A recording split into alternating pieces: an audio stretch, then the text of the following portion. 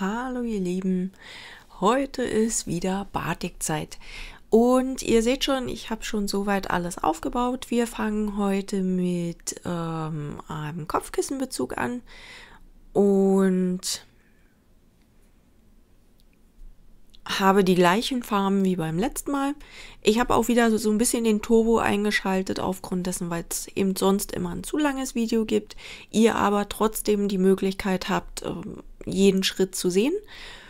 Und hier habe ich jetzt das Ganze wie eine Ziehharmonika gefaltet ähm, und dann als Schnecke zusammengerollt und jeweils mit so einem Haushaltsgummi äh, fixiert und dann mit unterschiedlichen, also diesen ähm, typischen äh, Muster dann die Gummis verteilt und um dann da auf die jeweiligen Dreiecke, die dadurch entstanden sind, dann die Farben zu verteilen. Ich habe wieder die gleichen Farben, wie gesagt, genommen wie beim letzten Mal und ähm, habe mich nur diesmal entschieden, die Farben ein bisschen intensiver zu machen als jetzt zum Beispiel bei beim letzten Mal. Letztes Mal waren sie ja doch eher pastellig, jetzt sind sie halt äh, dann doch eher noch intensiver und genau, also dadurch müsst ihr euch da so ein bisschen schauen, was er euch wünscht und dementsprechend auch die Intensität ein bisschen reinmachen. Ihr müsst genauso darauf achten, ähm, dass das vom Gewicht her stimmt. Also wiegt gerne mal eure Teile vorher, damit ihr ungefähr wisst, wie schwer die sind, weil hinten auf den Verpackungen steht drauf, für wie viel Grammzahl die Farben geeignet sind. Und dann vielleicht so ein bisschen, also ich mache unheimlich viel, zwar auch vom Gefühl her, aber ich schaue natürlich trotzdem, wie schwer ist jetzt das Ganze, beziehungsweise wie dick ist der Stoff und da könnt ihr euch dann so ein bisschen orientieren und ansonsten muss es auf jeden Fall sehr, sehr warmes Wasser sein. Also teilweise war die Flasche schon ganz doll heiß. Und ähm, ganz wichtig sind auch die Handschuhe, weil sonst hat man unheimlich tolle, bunte Finger.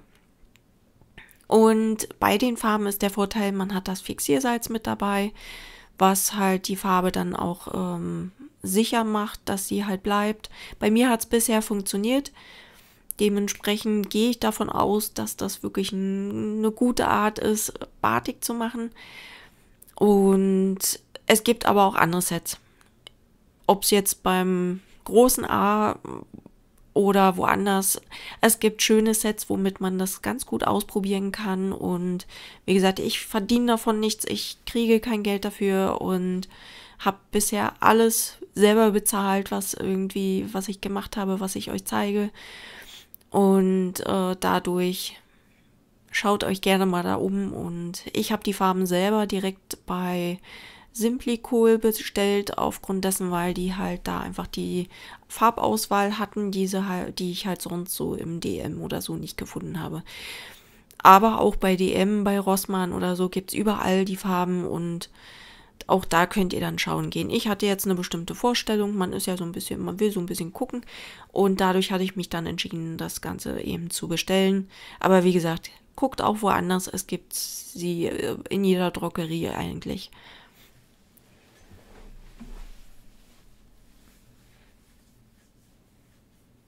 Ja, die Handschuhe hatte ich ja schon erwähnt. Als Fun Fact, ich hatte auch schon mal keine Handschuhe an und hatte unglaublich schöne bunte Finger. Ja.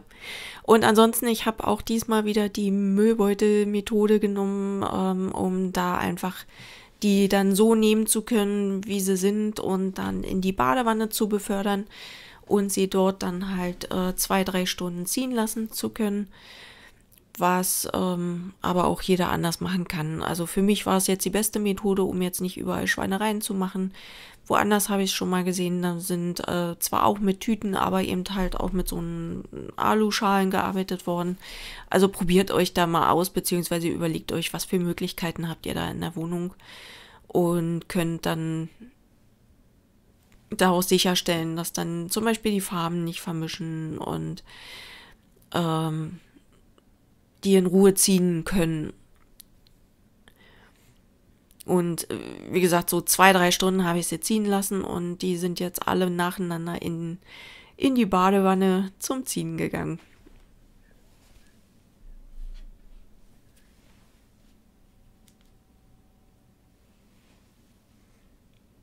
Als nächstes habe ich jetzt so ein langärmeliges Shirt. Ich glaube, es war einfach zu dünn weil es äh, nicht ganz so geworden ist, wie ich es mir jetzt so vorgestellt hatte. Es ist halt ein ganz, ganz dünner Stoff, so ein weißer, schon fast leicht transparenter. Und dadurch, hier habe ich jetzt diese ähm, Zupfmethode genommen, wo man so ganz schön zusammenzupft und so, wie man sich das gerne möchte. Gibt aber eigentlich gar kein System und dann wird auf dem rumgekleckst und äh, hat auch was sehr, sehr schön Mediatives. Also ich hoffe, ihr wisst, was ich meine. Das hat so was Schönes. Äh, man kann so ein bisschen irgendwie machen, was man will und muss nicht so viele Regeln beachten. Und dadurch kann man sich da einfach mal locker machen und einfach nur entspannen.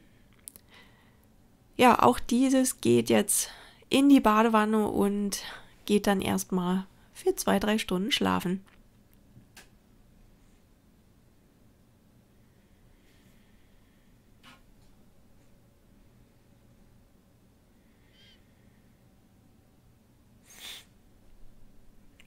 So, und als nächstes habe ich dann gleich beide Teile auf einmal zusammen fertig gemacht ähm, und habe einmal ein T-Shirt noch. Das äh, mache ich wieder mit der Schneckenmethode. Also nicht ganz wie bei dem Kopfkissenbezug, dem ersten, äh, sondern halt dieses Eindrehen. Und da könnt ihr dann auch schauen, entweder macht man es halt extrem akkurat oder man dreht sie halt einfach ein. Man nimmt sich einen Punkt, ähm, ob jetzt wie ich jetzt rechts unten, in der Mitte, links oben oder so. Man kann sich diesen Startpunkt, wo man es eindreht, aussuchen und dadurch dann eben auch entscheiden, wo dieser zentrale Punkt dann entsteht, weil da entsteht dann so ein sehr typisches Batikmuster. Und das finde ich persönlich immer unheimlich schön. Und es gibt auch noch eins, also ich habe tatsächlich diese zwei Motive, einmal diese Schnecken und dann einmal diese Zipfelmethode. Da habe ich jetzt nämlich äh, mit ganz vielen Haushaltsgummis diese kleinen Zipfel gemacht. Ähm, ich habe diesmal auch ein paar mehr gemacht. Äh, wer mein letztes Video gesehen hat, der weiß, ich habe schon mal einen Hoodie gemacht. Ich glaube, da waren es einfach zu wenig, beziehungsweise auch der Stoff war relativ dick. Und ich hätte es, glaube ich, ein bisschen anders machen sollen, aber es ist leider dann so geworden. Es ist nicht hässlich geworden, aber ich habe es mir ein bisschen anders vorgestellt und diesmal habe ich es jetzt nochmal mit dem Kopfkissenbezug probiert, dass ich da ganz viele kleine Zipfel gemacht habe und dort dann die Farbe drauf gekleckst habe.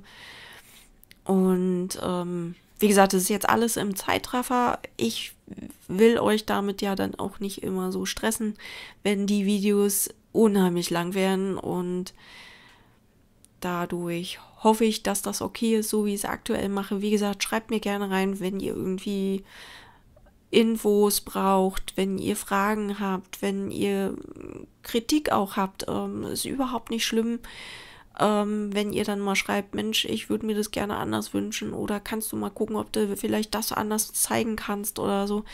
Aber ähm, ja, ansonsten, ich freue mich aktuell immer sehr, wenn ich neue Abonnenten kriege, wo ich immer denke, oh, wie schön, da hat sich noch einer für den Kanal entschieden. Vielen, vielen Dank auf jeden Fall jeden Einzelnen an euch.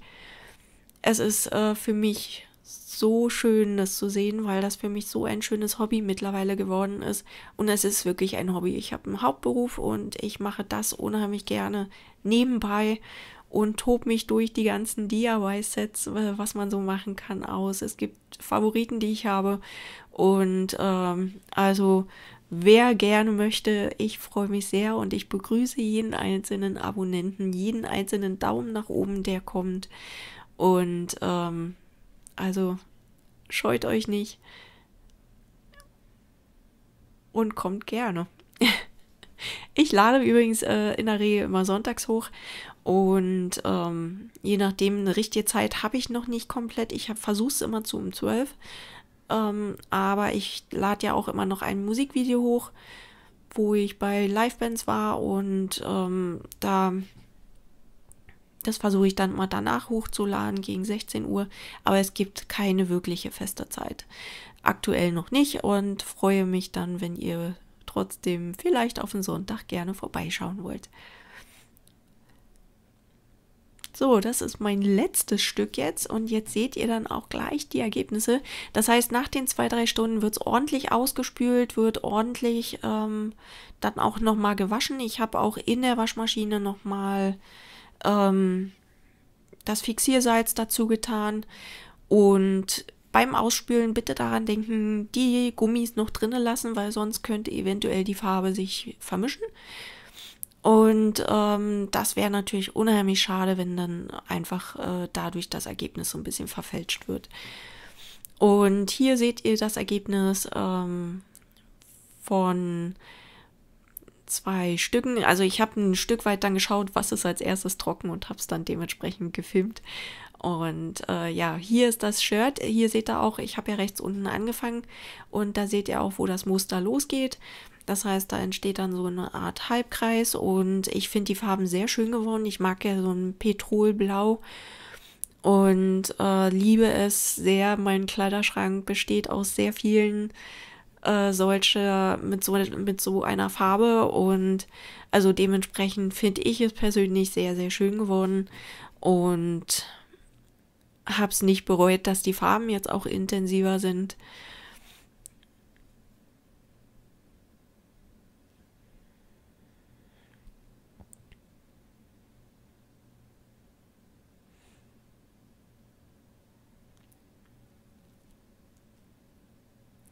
Ja, und das ist ähm, mein erster Kopfkissenbezug.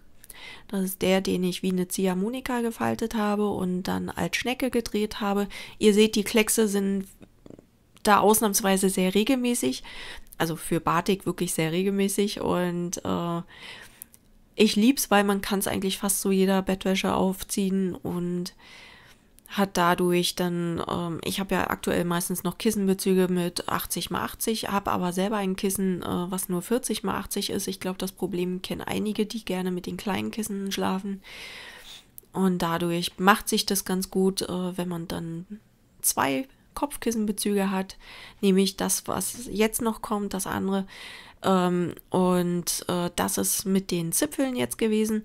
Da ist irgendwie mir auch das Petrol so ein bisschen ähm, hat es ein bisschen überhand genommen, wenn man es so sagt. Ähm, wie gesagt, ich finde es toll. Ich habe auch eine Bettwäsche in Petrol, also yippie. Ich habe auch dafür dann einen Kopfkissenbezug, um diesen dann auch zu benutzen und das, die passen letztendlich beide sehr, sehr schön dazu. Habe auch eine rote Bettwäsche, wo ich dann halt eben das andere nehmen würde, weil das einfach da farblicher mir zupasst. Also auch da, wenn ihr ganz viele Farben habt und sowas zum Beispiel gerne ausprobieren wollt, das ist dann so multikulti-mäßig, könnt ihr das dann überall mit hinmachen. Und genau, also es hat sich für mich zumindest gelohnt. Ich glaube, ich mache die Kopfkissenbezüge bestimmt auch nochmal und versuche dann vielleicht, finde ich noch irgendwo eine Technik, die vielleicht auch äh, mal nochmal was ganz anderes ist, damit ich euch nochmal ein paar Techniken auch zeigen kann. Ich habe es jetzt im Moment ja nur mit den Farben gemacht, äh, beziehungsweise einmal Batik hatte ich noch mit Naturfarben, was ich auch übrigens sehr, sehr spannend fand. Und ja, äh, das hier ist jetzt ähm, übrigens dieses lange, dünne, weiße, fast transparente Shirt jetzt gewesen. Das war, wie gesagt, ist jetzt nicht so ganz mein Favorit, aber ich glaube, ihr wisst, was ich meine. Und finde es halt nicht ganz so schön jetzt geworden. Aber ich glaube, dass es einfach der falsche Stoff war. Es war einfach nicht so schön, dass ich hätte da die Farbe wahrscheinlich so schön verteilen können. Und dadurch ist es leider nicht so richtig schön geworden. Ja, ich hoffe, euch hat das Video ansonsten gefallen. Ich freue mich über Lob, Kritik, Fragen und äh, freue mich auch über einen Daumen nach oben oder eben ein Abo. Wenn jemand gerne wiederkommen möchte und nichts verpassen möchte, also gerne. Ähm, und ich wünsche euch einen wunderschönen vierten Advent. Ich werde am nächsten Sonntag dann auch wieder hochladen. Ich muss mal schauen, was ich dann mache. Ich werde es wahrscheinlich terminieren, weil ich, weil es sind dann einfach Feiertage, ja. Und dementsprechend bis dann.